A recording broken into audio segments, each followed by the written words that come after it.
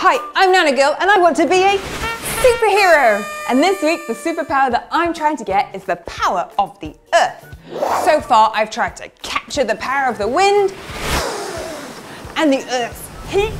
And today, I'm gonna try and capture the power of water. What's that?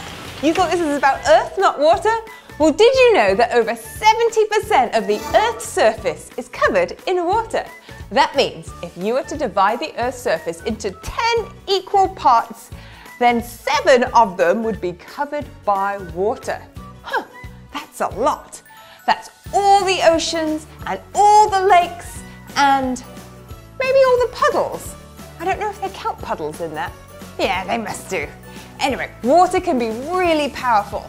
If you've ever been swimming in the ocean and you've been hit by a huge wave, poof, you know that being knocked back by the ocean means that it's super powerful. It can knock you off your feet. So let's do a little experiment to see if we can harness the power of water. Maybe we can be as strong as those waves. Yeah, for this you are going to need a large bowl or you can use the kitchen sink, a jug with water in it, a used empty plastic bottle.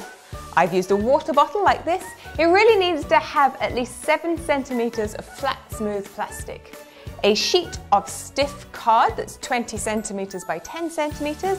Another sheet of stiff card that's about 10 centimeters by 15 centimeters. A sheet of paper at least 16 centimeters wide. A mug or something round to draw around. A wooden skewer.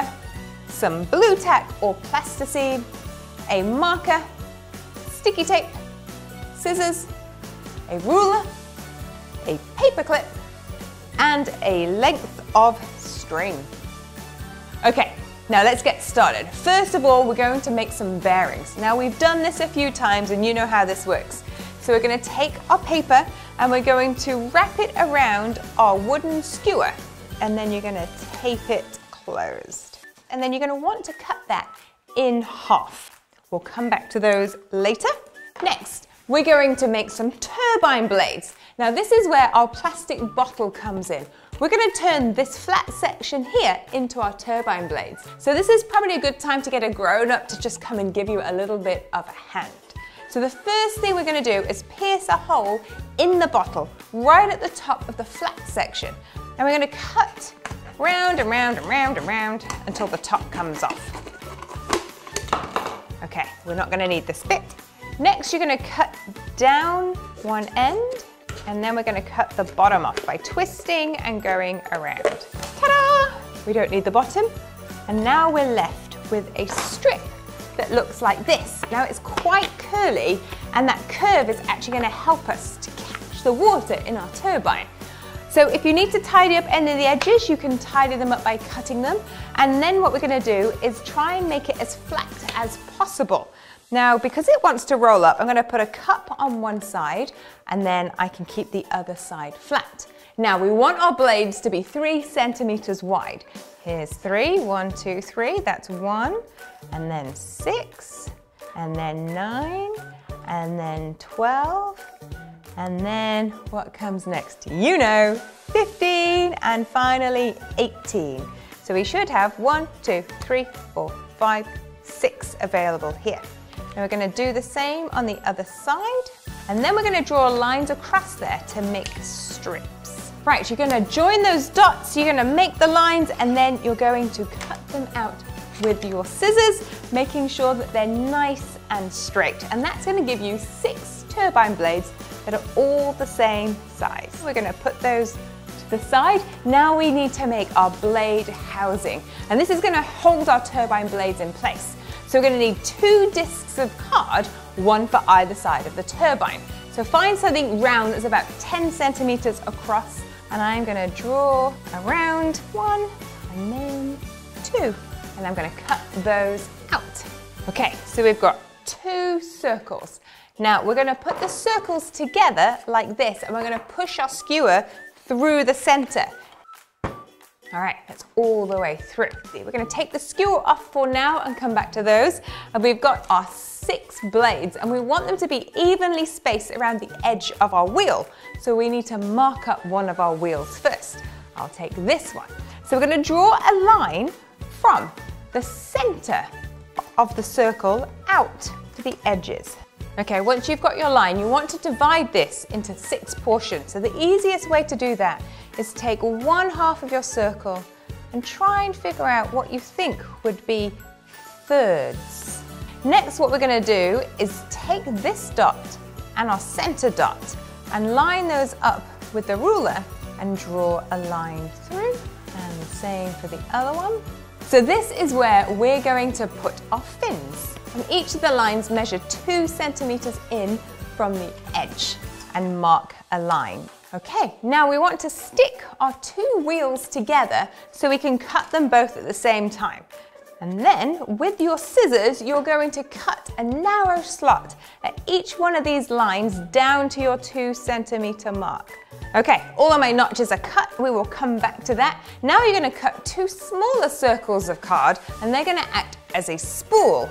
You can draw around a coin if that's easier for you. Okay, my spool is done. You're gonna thread your spool guide onto your skewer, again by making a hole in the middle and then you're going to push it towards the far end of the skewer. You're going to do that again with the next bit of spool and again thread this out of the way to the top end of your skewer. Okay, so you're going to cut the tape that holds your discs together and then you're going to put them onto your skewer and then separate them with enough distance that's about a turbine width distance apart. Now make sure that all of your turbines, because they're curved, are facing up the same way. And you're gonna slot them in, you're gonna tape it on to the side. First one on, let's move to number two.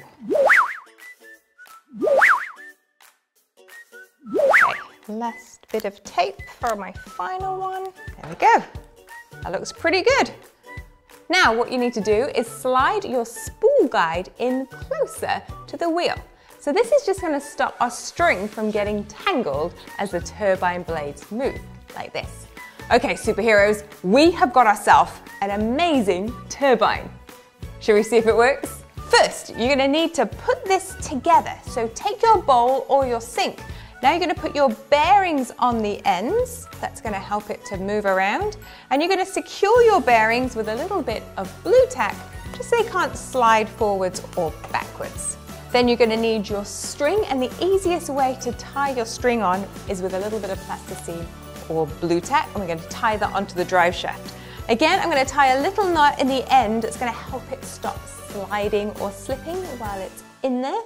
And then we're going to put it in to the spool guide and we're gonna blue tack that down. Perfect. Now at the other end of your string, you're going to want to open up a paper clip and I'm gonna tie one end of my string around one of the hook ends.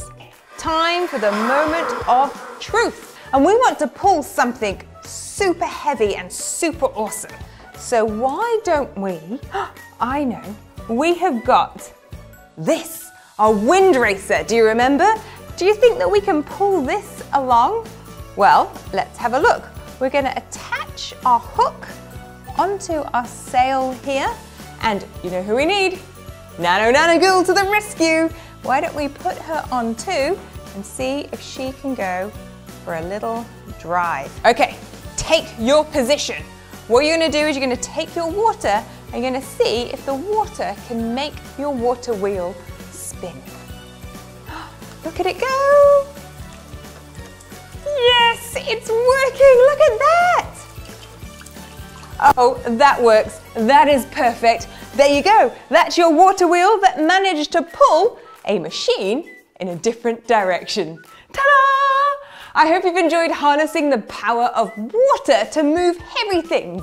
And I will see you again tomorrow for more superhero science much water it would take to lift an elephant. I know, probably trunk loads. See you later.